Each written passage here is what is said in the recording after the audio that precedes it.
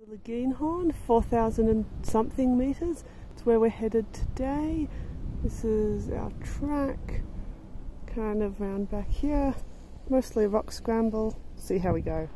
Coming up the ridge of the Lagginhorn, having made the traverse across, which took like one and a half hours or something, and not come up very far at all.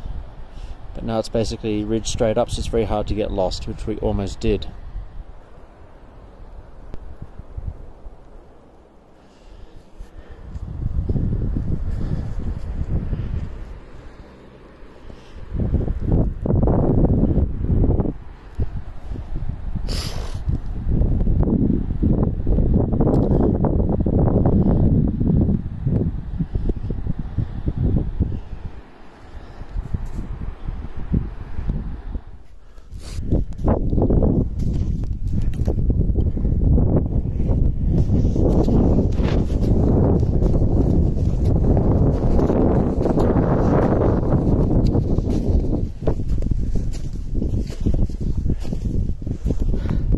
Don't you open? Oh, it's alright, I think, for now. This'll, this'll do, this is lovely. And if you could take some photos too, that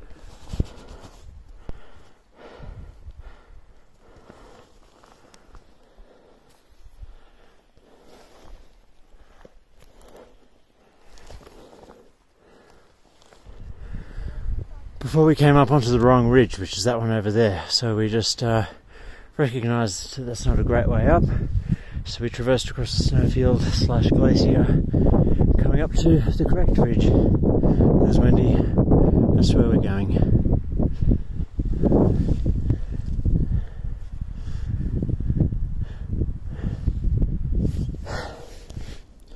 Coming up the ridge on Lagginhorn and at 3600 metres. That's the route up there ahead. Bit of a rock scramble. How you doing, Wendy? good. I'm doing what's outside. There's the hut down there. Trying to get back for dinner.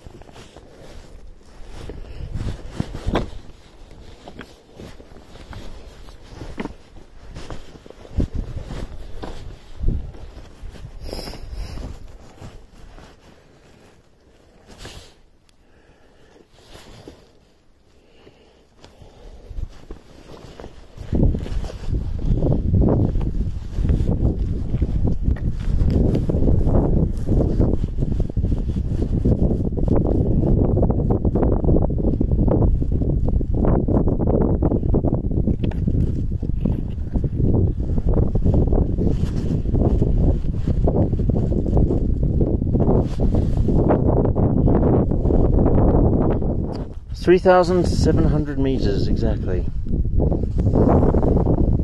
There's a Weissmies over there.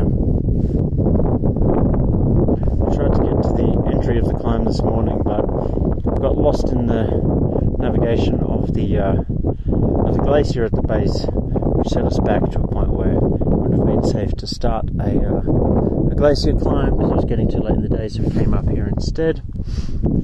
Probably won't make the summit, but um, uh, in any way, uh, 3,700. and That's just the ridge that came directly down. Over to the base station down there. Down below us is the Saas-Fee Valley, so that's Saas-Fee down there. Um, this valley continues down that way to the Italian border, just a few kilometres that way. Up at the end of the valley, where it hits the next range, that's where the city of Visp is. That goes directly across uh, to Martigny.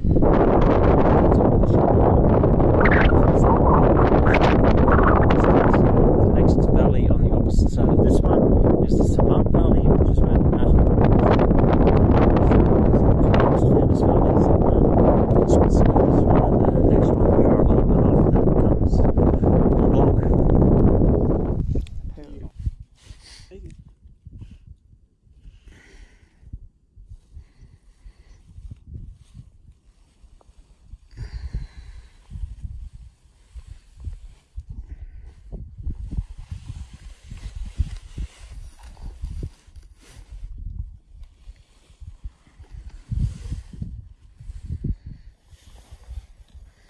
Hi Wendy, Hey, how are you? how do you feel at 3,700 metres? Bit nervous. Same height as the top of New Zealand and the top of Austria. Well, go us. Yes, I agree. Well done.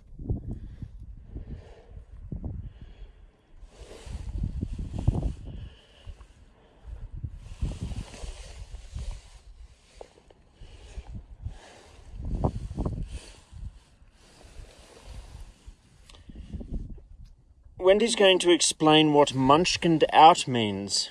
Wendy, over to you. Are you filming? Yes. As you said. Right, it's quite a long explanation, isn't it? You'll have to edit this down.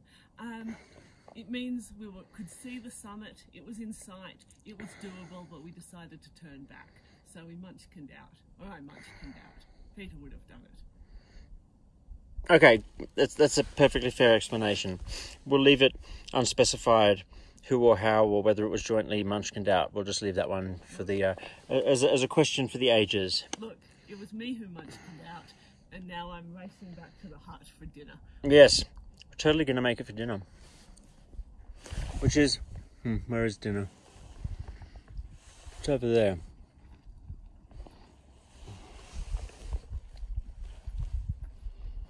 First, have to get down the ridge.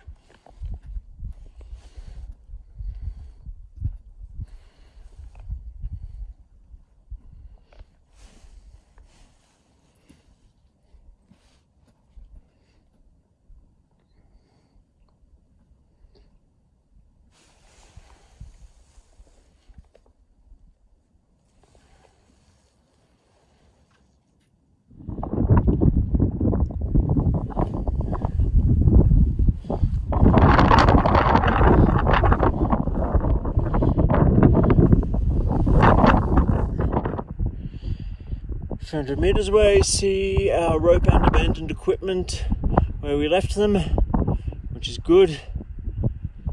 Once we get our into the snow again, it'll be a very quick traverse back across. You can see a couple of ants down there below, ahead of us.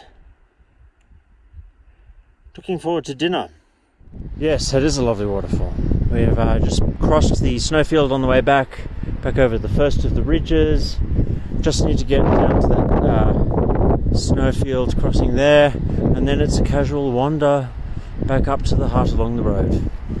And we've got one hour and ten minutes before dinner.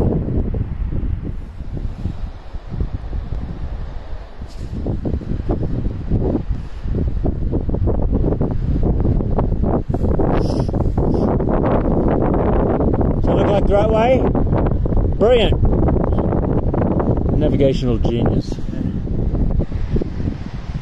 Dinner awaits, and wine. Wine, huh? Yeah. Have wine. You can have whatever you want.